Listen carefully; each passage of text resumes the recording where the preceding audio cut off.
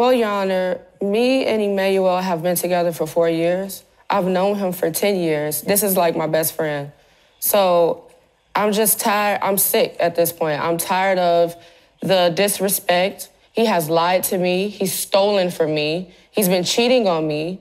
And I'm just sick of it. I'm just ready to call it quits at this point. So basically, you're telling me, Ms. White, that you are worth more than what you've been getting. Yes, I'm, I'm young, I'm beautiful. I don't deserve to be going through what he's putting me through. Mr. Williams, I hear what Ms. White says. She makes a good case. What do you say, sir? For the past two years, we've been having problems with my career that hasn't been a problem when we first started. Mm-hmm. She knows me for 10 years. She knows what I do. And I just think that it's inconsistent for her to now have a problem with my career now at this. And I feel like the accusations that she's making against me as far as she can go isn't true. Mm-hmm. I want to win her back and show her that I haven't been doing the things that she's saying I've been doing.